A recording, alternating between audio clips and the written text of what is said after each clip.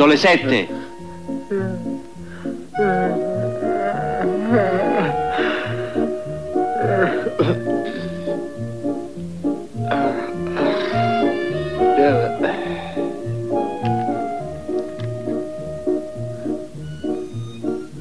Le sette. Eh, Da 65 anni ogni mattina mi sveglio alle sette senza sgarrare di un minuto. E ci sta chi deve mettere la sveglia, chi si deve far chiamare tre o quattro volte. Per carità, io niente. Alle sette precise, con qualunque tempo, estate, inverno, sole, pioggia, neve, tempesta, tac, apro gli occhi. È segno di buona salute. Con tutto che stanotte ho dormito poco o niente per via di quel maledetto fischietto. Ma che ci avrete avuto da fischiare tutta la notte? Una continuazione. Permesso? Avanti. Io non capisco. All'età vostra ancora con il fischietto. Che educazione, che serietà. Ma chi fischiava? Tu? Ma io lo so perché fate questo. Lo fate per tenere sveglia la gente. Siete una razza maligna. Vi conosco. Eh, cara Carletta. Buongiorno, don Annibale. Mm, il caffè che fai tu non lo fa nessuno. Quando io morirò tu portami il caffè e vedrai che io risuscito come Lazzaro. Eh sì, da qui a cent'anni. E il fidanzato ha scritto? No, ieri no. Eh, sai che dolore. Non l'hanno fatto ancora generale. Lei mi vuole prendere in giro. Però nell'ultima lettera dice che a primavera lo fanno caporale. Perbacco. Eh, in fondo i generali sono tutti caporali rimbambiti. Questo se lo sentono, l'arrestano. Grazie cara, vai, vai. Ah, e ricordati del Sor Augusto Ah, per sì, quella sì. schifezza di scaldabagno. Senz'altro, principe. Che cara ragazza. Sono contento per Gino che è tanto a posto pure lui. Sembra ieri che l'ho tenuto a battesimo. Come passa il tempo. Eh, a chi lo dici?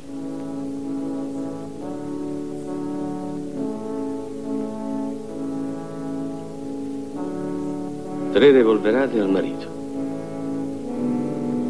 Sgozza la moglie con cinque coltellate. Figlio unico fa saltare in aria la madre.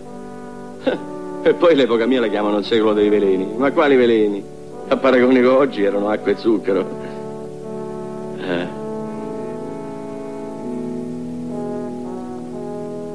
Eh, a me però questo Khrushchev mi sta simpatico. eh.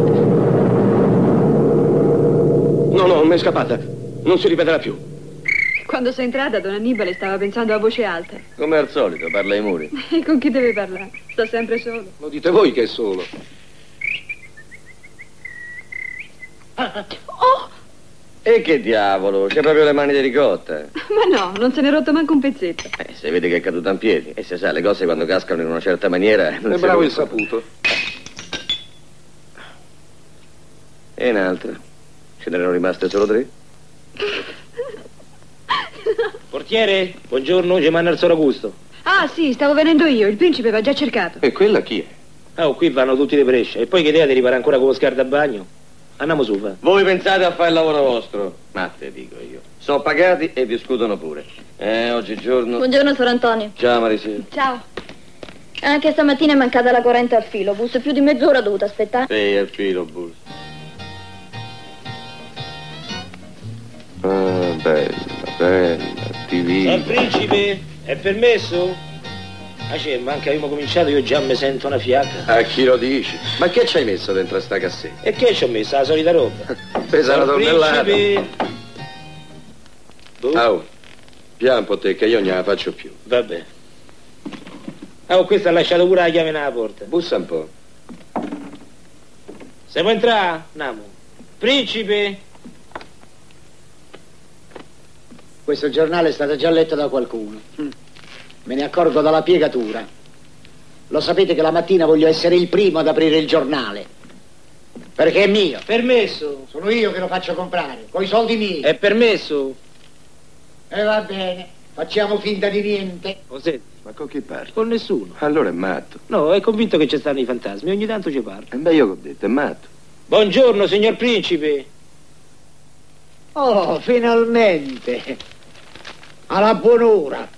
Il signor Augusto si è degnato di farvi venire. Sono due giorni che non mi lavo, faccio schifo. Dica un po', come mai ogni tanto sto scaldabagno si rompe? Eh, non sono mica io a romperlo.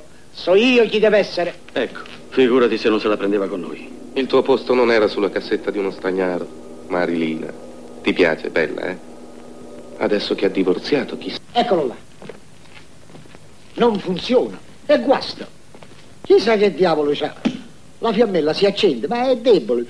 Si ritira e si rispegne immediatamente. Mo gli diamo un'occhiata, eh? Dammi un po' il cacciavite. Odè, ti sei persa Marilina. Su, dai, non famo scherzi, tirala fuori. Oh, e te sarà cascata. Eh sì, mi sa che sono proprio i fantasmi che si divertono a romperlo, se no non si spiega. Sor Principe, questo non ci può credere. Dice che io sono scemo. Glielo dica lei per piacere, è vero che esistono i fantasmi? Questi due vogliono sfottere. Eh, come no? Esistono. Solo a Roma ce ne sono a migliaia. Ma va, e dove stanno? Eh, dove stanno? Un po' dappertutto. Specialmente nelle case antiche come questa. Nelle soffitte, negli armadi. Non so, hai mai sentito un armadio che scricchiola? Eh? La gente dice, beh, beh, c'è un tarlo nel, nel legno. Eh, un tarlo. c'è un fantasma nell'armadio. Te lo dico io. Il telefono squilla. Pronto, pronto, pronto, pronto. Nessuno risponde. Allora tu pensi male di tua moglie. Dici, hanno sentito una voce d'uomo e hanno riattaccato. Ma che? È un fantasma che si è divertito a formare il numero. Eh, ma pensa, io mica lo sapevo. Dica un po', Sor Prima, sti fantasmi si fanno vedere qualche volta. Eh no, si possono vedere solamente dopo morto o quando uno si trova in pericolo di vita. Ah, apposta una zia mia che andava sotto al tram ha visto un guerriero antico che la chiappava per i capelli e la salvava, Eh, eh? hai visto? E come no? I fantasmi di casa mia non li ho mai visti, ma li conosco lo stesso, sono tutti roviano, crepati di morte violenta. Eh già, perché se uno se ne muore bello, tranquillamente, nel letto di casa sua, ah, può fare i salti mortali, fantasma non ci diventa. Ah sì? E lei li conosce? Che tipi sono? Eh, prima di tutto ci dovrebbe essere il frate, eh sì, fra Bartolomeo, il fantasma più vecchio. Eh beh. Quello ci rimase nel 1650. 53. Allora mi sa che è stato lui a far mettere sto sguardo a bagno. Dica un po', Sor Prima, come morì quel frate? Di polpette. Ma Perché di notte al convento, quando tutti dormivano, lui se ne andava nella dispensa a vedere se c'era qualche cosa da mangiare. Una volta trovò le polpette, ma erano avvelenate. Ce l'aveva messa il padre guardiano per fregare i topi. Per pensare che fui proprio io a dirgli che dovevano essere i sorci a fare piazza pulita in dispensa. Poi c'è il cavaliere, Reginaldo, Mm, un bellissimo giovane. Sta qui dalla fine del Settecento. Quello dice che con le donne era terribile, non se ne salvava una. E chi era? Rodolfo Valentino? Pare che se la intendeva anche con la moglie del guardaportone, la bisnonna di Antonio. Anche gli amori ancillari. Buttali via. Eh, quello ogni sera, una volta qua, una volta là, mentre i mariti dormivano, entrava dai balconi e si intratteneva con le mogli. Ah, gli sparò qualche marito che non dormiva allora. No, no, cadde dal balcone di una fornaia. Mentre scappava si spezzò la corda e blowò, fece un salto di 10 metri. Però ne valeva la pena. Vergognati, peccatore. Perché le polpette sì e le fornaie no? La scarpa che è di là nel salone è sua, gli si sfilò nella caduta e non è finita. C'è donna Flora. Perché ci stanno pure i fantasmi femmine? E che femmina! Dice che era bionda, Si bellissima. parla di me? Pare che fosse un po' cretina. Sì, sì, si parla proprio di Si te. suicidò per amore. Si innamorò di un garzone, ma il padre non lo voleva sentire nemmeno nominare. Rutilio si chiamava. Aveva ragione suo padre, uno che si chiama Rutilio. Un bel giorno il conte padre andò dal garzone, gli dette una somma e lo fece partire per l'estero. La poveretta si gettò a fiume e non nel mese di agosto, nel mese di febbraio. E da allora pare che tutte le sere alle otto donna Flora va a Ponte Cestio, blolò, e si butta di sotto. Quando si dice l'intelligenza, eh? Stasera andiamo a Ponte Cesto Prendi, pure, se buttiamo piamola. e salviamo Prendi, l'antenata di Don Annibale, eh? Voi due credete di prendermi per il fondo dei pantaloni, No. ma i fessi siete voi che non credete che i fantasmi esistono. Certi Esistono giorni non ci e- credo e- neppure io. Quando mangio peperoni la sera mi viene come un prurito. Beh, con i peperoni capita. Eh, si vede che non li digerisco, ma mi piacciono.